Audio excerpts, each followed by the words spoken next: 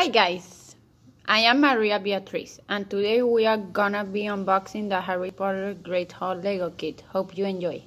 So this is the box and this is what I am going to open.